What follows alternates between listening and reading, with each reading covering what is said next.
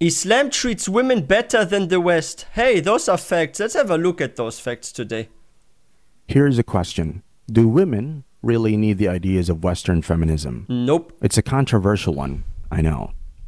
But instead of asking whether women need Western feminism, maybe we should flip the question. What if it's Western feminism that would benefit from the wisdom and balance that Islam offers? Let's hear from someone who knows this firsthand. Would someone mind telling me how the West treats women better than Islam? How atheist men and atheist culture treats women liberated and free and well? Can someone please explain that to me and, and how? Because as far as I see it, we've been sold a lie. Our families have been brought up in the most spiritually impro- impoverished way. Impoverished so way. true. And So what I mean by true. that is, we never had any guidance. We didn't have any direction. We didn't have a Yes. God. We didn't. How is that gonna? Yeah, yeah, yeah. This is the this is the new lifestyle in the West. Do what you want, be who you are. It doesn't matter. We will not uh, show you the way. Find the way yourself. Try this, try that. Destroy your body. Uh, sleep around. Do this, do that, and discover yourself what is the right path. Like, like this is the issue. Like, I- I mean. You have freedom of choice, right? And I think it's good that the law protects your own choices, right? For example, let's say you want to buy a property there or you want to buy this kind of clothes you want to do this sort of hobby this and that like it's it's good that you have freedom of choice right but that doesn't mean that you can't raise or educate someone and show them the path and they themselves decide whether to walk this or not i mean if, if you look at the teachings of islam this dunya is a trial is a test and there will be people going to the hellfire as well as people going to paradise so so there are people that are failing the test and people that are passing the test. So that means there is a freedom of choice, and we humans were created with free will. But that does not necessarily mean that you don't show the way to people or guide them, right? And this is something that is lacking a lot in the Western world and in modern liberal Christianity. Unfortunately, I see this here in Germany, where the sons of pastors they get drunk and the ambulance take them away. I mentioned the story before. Or a 13-year-old Christian girl is crying and depressed at the bus stop because she lost literally her, her V, right? Because she had a guy and committed zina, billah, and now she's very regretful. And with 14, she's on pills for depression and stuff. Like, this is not normal, right? Like, you have to at least raise people and give them the right direction. If they want to turn from that direction, or if they want to make other choices once they reach a certain age, it is their sin, right? And there is, of course, a punishment. And if they don't believe in the punishment, it's up to them, right? I mean, look at previous prophets like Nuh alayhi salam, for how long he was calling people to Tawheed. And they know, no la ilaha illallah, no, no, no, no, no. And they were like this, they got punished by the flood. So if you're following a destructive lifestyle, sooner or later something negative will come to you, right? But why would you let your civilization go down a negative route so that they turn to a good route once they meet the negative. You can prevent people to go down a negative path in the first place, right? And this is the thing, like the upbringing here is horrible spiritually. Like there's almost no more religion in the West uh, when it comes to um, like the new generation, and this is so sad. Have a God. We didn't. How is that gonna like play out? This might seem like a publicity stunt, but listen to her. It's clear that her path to Islam was her own decision. This woman shares her own story about how she converted from being an atheist to a Muslim and what motivated her. Let's rewind a little to this white woman's story. When no one was there for her, the only thing that gave her hope was Islam. She was living in a dark pit hole of parties, drugs, and extreme health Yeah. problems. She was following the idea of Western feminism. Many are like but this why here in was this woman feeling all alone and completely shattered? Here, let's see how the woman tells us about her journey of finding God. And then about three months ago, I had an organic urge to read the Quran. Like I've had it in my bookshelf for ages, but I never like I couldn't read it. I tried to read it once and it just wasn't flowing. So I just followed this urge. I just kept waking up with the urge to read the Quran. Subhanallah, like it was Allah all along. Because then basically I started to read the Quran and then started to feel like maybe Islam is real, maybe Allah is real, right? So I started to then pray, if this is Allah, if Islam is real, then show me. Like, is is it really is is, is Allah who or what I've been praying to for this whole time? Have you been the one guiding me for this whole time? You know what's interesting about her saying that she has the urge to read the Quran? Like I felt the way when I actually was reading only a bit, and then uh, sometime I put it away, and a couple of days later I felt the urge again to read the Quran because I want to know more about it. And my curiosity came also a lot because I wanted to compare the Quran with the Bible and see like how is uh, Jesus peace be upon him described in the Quran? Are there any similar stories? How about Musa alayhi salam? And I was super curious. Like my interest was so high for like learning more about the prophet stories and what does it actually say. And you know it's like interesting because she she just mentioned. I want to also point this out. She mentioned that she wanted to know if Allah is real.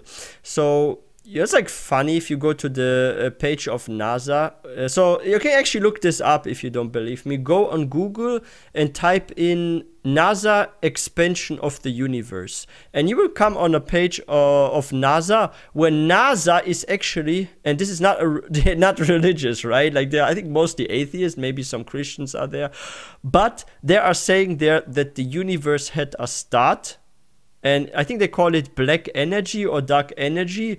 And the universe was once one single point and it's expanding and spreading. It literally says this, like they're confirming that the universe has a start. And we, if you if you read, for example, Surah Ikhlas in the Quran, it describes so well that Allah was always there because he was never created by anyone, right? That Allah is infinite, always have been there, right? If you think about what NASA is saying on their page, that the universe had a start, right? And the universe is now expanding and it's getting further and further. And if I'm not mistaken, I, I hope my memory is correct. You guys can correct me or check it if I'm wrong. But I think they did measurements between the distance of um, of star systems, right, or the stars themselves, and they did measurements on like how the distance is actually getting further and increasing over time between certain planets or systems, right? And that way they discovered that the universe was once smaller and had a single point or something, if I'm not mistaken. So, so this actually proves the existence of God. Like NASA themselves are indirectly proving that God exists, right? Allahu Akbar for this whole time. I was moved out of dark spaces, like dark spaces. Like my connection with God is the only thing that got me through several years from 2018. I'm talking like extreme health conditions, like wow. mad situations where I only had God. I like literally went on a hermit mode for two years. I didn't speak to anyone. I left all my relationships, even friendships, and I only just prayed. Islam is a source of strength for Muslim women both in their worldly and spiritual matters. Staying away from forbidden things like alcohol and drugs makes their life simple, modest, and stress free. This is not a standalone story. Many other stories behind this one show why Western women appreciate the ways of Islam much more than their own religions and cultures. Here's the truth every day we listen to the news and hear big words like women's rights, feminism, patriarchy, women's liberation, and so on. Everyone has an opinion on Western feminism. Yeah.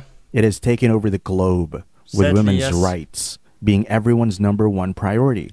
But beware, the women's rights movement has taken another path and it's entirely wrong. It's wicked, it's brutal, and it's unfair to all genders and religions alike. Yeah. It's no secret that even Westerners themselves, whether they be American, British, or Europeans, they no longer appreciate the path feminism is taking. It's too extreme. Instead, they are praising the ways of Muslim women more than their own. Let's start a debate, one that has been going on for quite some time. Are Muslim women stronger than Western feminism? Of course. Let's keep it easy. The general stereotype is that Westerners think that Muslim women are supposedly forced to cover up. Islam encourages Muslim women to start covering their bodies from an early age. But the West has made it seem as if Islam oppresses women and does not let them breathe freely. What's happening here is that women draw strength from their faith and learn to be modest and humble. For them, covering up is an act of personal empowerment, True. which gives them strength against societal pressure Yeah, of course, because it's not objectification, right? Like, let's say you see, like, this is a, a study that was actually done uh, here, even in Germany, that women who actually reveal certain features, I'm just trying to like censor my speech, right? I don't want to cause you fitna, but women that actually reveal certain body parts and they have a very good and fit appearance, they are more likely to get a job as well as younger women than women who are a bit out of st- beauty standards, basically, right? So look matters when finding a job for a woman, and they did a study here in Germany. So it's not even about 100% qualification, how smart a woman is, how skilled she is, but it's like that because, how do I say this? Okay, for example, men are, uh, like, I don't want to get like a stereotype so you think like all men are perverts. I'm not saying that, but men are more judging on looks of a woman than for example women are judging on looks on another woman. Like there's still a comparison of course between women like uh i actually like the way she looks. I want to copy her because she's popular this and that. But usually like the men are like this right? So if there's like a, a thirsty boss and, and there's like two women applying at the company one is hot and young and one is not so even the one that is not so is like slightly better in her like working experience. She worked one year longer. Her grades are not b but a in some subjects let's say right? Like the boss will most likely still take the young single attractive women into the company or as the secretary than the average or below average woman that has more skills. Because like everyone's like so brainwashed and look at the the rise of beauty surgeries like plastic surgeries like i recently came across a study and there was an increase of over 10% i read of more cosmetic surgeries being done to females it has increased by I think only 3% on males but 10% on females. So it's 7% a higher increase on the women than on the men. That is a lot. Because if we're talking about numbers of tens of thousands or even hundreds of thousands in certain countries, like an increase of 10% is quite a lot, right? And why did it rise 7% higher than on the men? This is something to think about. And this comes all from social media. I believe social media, Instagram, TikTok, and, and women uh, post, posting themselves in a very sexualized way. This causes a lot of fitna even among the women, where they're no longer happy with their own appearance, right? And where males create certain expectations for their future spouse. And this leads to more cheating, to more breakups, and a lower marriage uh, like lower marriages taking place right? Because now men have even higher expectations because they see all the beautiful girls on instagram tiktok so if they meet an average girl that has like a nice personality they're like huh what do i want with this girl? I have so many pretty instagram girls i follow or something. That's what they will think right? So there's a lot of societal pressure on women based on objectification and the hijab actually protects a woman because if you see a woman that's covered up, you're not going to look at her body shape or at her cleavage, billah, or something, or how her certain parts are, right? You look at her speech, her intelligence, right? How smart is she? Is she skilled at, at her profession or the way she's behaving and all that? Like you get a different picture based on non physical factors, right? So this is like actually this is what I'm saying like the hijab is an empowerment to women because it brings out the true value of a human being and not the objectification. Against societal pressure to conform to Western beauty standards. Yeah. Not only does this protect them from the eyes of men, but it also men are thirsty by nature. You have to kill every man on the planet if you want to over stop their this. bodies. As said before, on. Westerners themselves are praising the ways of Muslim that would be women the end of and appreciating them. This shows that Muslim women are taught to be kind and caring to everyone, regardless of their religion or race. Don't we all want a society where everyone fulfills their duties and respects the rights of others? This is exactly what Islam is. Do you know what's even more alarming? Supporters of Western feminism are in tears over matters of marriage, relationships, and personal autonomy. The propaganda they like to spread about Islamic feminism is actually turning out to be true for Western feminism. It look at the state of our men and look at the state of our women, basically. not only have we not known our role as a woman or a man in the family unit or whatever unit, but the roles are mixed up and confused. Yes. For example, it's seen as liberation to have a woman working the same as a man, yet we go through the pregnancy, the birth, and the Yeah. rearing of the children And the too while maintaining the house. How is that liberation and how is that freedom for women? Look at the family units of the West today. Yeah. There is no system of maintaining families or respecting spouses unless someone is scared of the law. Yeah, and uh, let's let's uh, let me give you guys a, a very like let me give you actually two good examples. Okay, so let's say you have a family where the husband works at an office, maybe he's like a software engineer or something, right? And the wife she works at let's say she's a police officer. Okay, so the wife has long working hours, mostly the whole like late morning until very late afternoon. Sometimes she has to work till late at the night, right? The the man is always in the office nine to ten hours sometimes, also because of his driving back to home, right? And now they have like a small, let's say a small daughter or small son. Who is going to watch after the kid if both are working full time? And and and how how about like for example every woman becomes a police officer or soldier. What if suddenly a high amount of women get pregnant? Do we have now pregnant uh, police officers run around the street or soldiers? Uh, they go to war with big bellies or what? Like, you know what? Like that, that makes no sense, right? So if you have like a physical change that needs protection, and it's at least for eight to nine months like this, right? Like usually women, I think the first month they don't notice that much, but month two or three body changes happen, right? So, and then then you have like this one or two months of pause you need after birth at least, and then you know still you need to take care of the kid.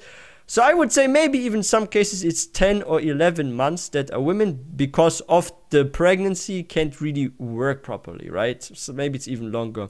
It depends on if they go on break after the third or fourth month of pregnancy. So mathematically, women for almost one year if they have one birth can't work. If it's two birth, it's almost 2 years. So there's justice in Islam because Islam makes the man be the provider of the family. It's actually fard and you have to work for your wife as a man, as a husband, right? And why is that? Because by nature, if a woman is pregnant, she can't properly work and she needs someone to protect her. Like she will get sick, she has to go to the bathroom, maybe uh, she has to, you know, or she feels very weak, tired, then there's hormonal changes then there's like the monthly menses right? Some women maybe for one or two days they just want to lay down and rest right? So so so so, so at this time there needs to be a protector someone that actually brings the food home. And this is the man because we men we don't go through pregnancy we don't go through menses. And it also brings actually care to the children because it's either the man or the women that would technically need to stay home if there's a one year old child. Because with one year of age you can't go to the kindergarten. It's too young. A kid needs to be like at least three years or four. And with three or four, you can go to the kindergarten. What about year one, year two? So who is going to do that? If the woman goes working, then the man has to stay home. But then the man doesn't feel like a man anymore, and his muscles and him being tall and him being able to build houses and maybe go to war or become a strong police officer that catches thieves and stuff. Like he can no longer fulfill this role because now he's at home. And he's from the two the one that has like more muscles and that can actually go to war or fight or carry heavy stones to build a house or something right? So of course then you need one to stay at home. And in this case like there needs to be a role right? So who takes care of the children? Is it the husband or the wife? Then you have to look at the biologically. Who's uh, fitter? Who is uh, more like masculine with muscles and can can work physically harder then you look at the men oh by biologically the muscle mass and even scientists say that the muscle mass of men is higher men tend to be on average taller taller means you have more body mass. More body mass means you can carry heavier stuff. It means you fight better if you are in combat or something. So, physically wise, men are more fit than women to work. However, and we, we talked about this in another video, women are emotionally stronger than men, have more patience and more compassion, what actually helps children to grow up. Because a father can never replace the role of a mother completely. Even if he comes close to that, he's never going to be as perfect as a mother So, yeah, we have to look at it from the whole view of everything from social aspect, biological aspects, and uh, structure aspects of the family that the family doesn't break apart and uh, the child becomes some sort of criminal later on or misbehaving child because nobody taught the child proper manners so there needs to be at least one parent at home right taking care of the kid And we can tell you that Muslims treat women with a lot of respect and honor. Yes, because it's Gone are the days of do so. financial abuse and forced marriages. Whether it's education, inheritance, economic independence, or even divorce, Muslim women have a fair share of their deserved rights. Western feminism talks loudly about freedom in relationships, but when it comes to an argument or disagreement, we see that the bare truth is so far from that. Islam gives women the right to accept or reject marriage proposals and the right to divorce in case of a quarrel. Western feminism is flawed and it's failing its own women, let alone Muslim women. causes depression What too does this so called Western feminism do for Muslim women? It doesn't give Muslim women rights. It leads them astray. It doesn't protect them. It does not keep them safe.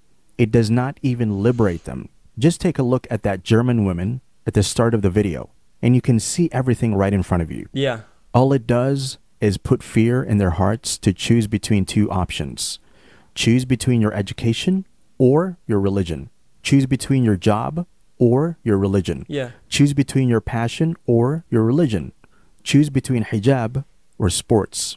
Where does this leave Muslim women at? So, is this really a question about who is right and who is wrong? Western feminism talks about, about freedom and rights. What they don't understand is that secular ideas and ignoring religion are destroying their systems. So much for a society spiraling and mental illnesses and drugs all the time. So much for a perfect society that doesn't even know what they're fighting for. What they fail to see is that for many Muslim women, true strength comes from their faith modesty, and spiritual strength. So, the debate really ends in a perfect and clear answer. If Islam is giving women all their rights, protecting them, and teaching them to be kind and caring, of course then Muslim women don't need Western feminism to protect them at all. No, Allah is the protector. Yo, let me actually quote a beautiful hadith from our Prophet Muhammad sallallahu alaihi wasallam for you guys. So, our Prophet Muhammad sallallahu alaihi wasallam said, "The best among you are the ones that are best to their wives, and I'm the best to my wives." That means our Prophet Muhammad wasallam he actually taught us if we want to be really really good men, good Muslims, we have to be good to our wives. And it's really like that. And women have a lot of rights. If, if a man does injustice of a woman to a woman then the woman can go to court and the man gets a heavy punishment in islam a very heavy one maybe one where he's no longer even in this dunya. No seriously like this is true so women have a lot of rights in islam like the media is lying about that i can confirm this as a muslim like this is true and how do you actually learn or compare which ideology is right or not? So, in order to do that, you can go to statistics. Now, you could actually make a comparison, and I'm going to do this now with rough numbers because I don't know the numbers by heart, but I saw them. So, I did like a bit of research on this matter actually. A, a couple of weeks ago, actually, I looked online ab- about this a bit. So, if you look at the divorce rate amongst uh, Muslims and compare them uh, with atheists and Christians, the Muslims have a much lower divorce rate than the people who are of other faiths. So, so you can look this up. It's online. Very the statistics are actually speaking facts. So, hap- so families are more happy in Islam. This is a fact. Secondly, mental problems or the attempts of someone taking their own, you know, is much lower with Muslims than with other faiths. You can also look this up online. So Muslims tend to be less depressed than other religions. Why is that? Because we as Muslims we have a purpose and we understand the meaning of life because Allah subhanahu wa ta'ala says in the Quran that he only created the jinn and the humankind in order to worship him. And he also mentions in the Quran that only in the remembrance of Allah our hearts will find peace. So we as Muslims, we have a meaning to our existence. We know why we are here. We have a purpose. We wake up with a purpose. So we are happier.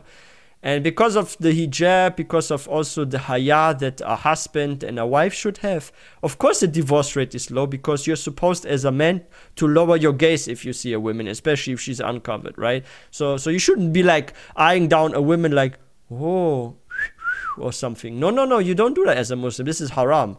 The same for women. She shouldn't like show what she is carrying with herself, right? Like she shouldn't attract men in public because this also can lead to affairs and stuff. So so all families are protected from cheating if Islam is is practiced properly, right? So it's more stable. The raising of children is already managed uh, in Islam because we have roles between women and men. The men are the providers. The women they usually stay at home and take care of the family, and they get a lot of reward. And there's even a hadith where a woman went to our Prophet Muhammad and asked hey, the men are going to Hajj, they are going to Jihad, they are doing this and that, and we are uh, staying at home, we are giving birth to the children, cleaning the house. Do we get the same reward as men? And our Prophet Muhammad wasallam actually confirmed that they are also getting the same reward and that they are getting reward for working at home.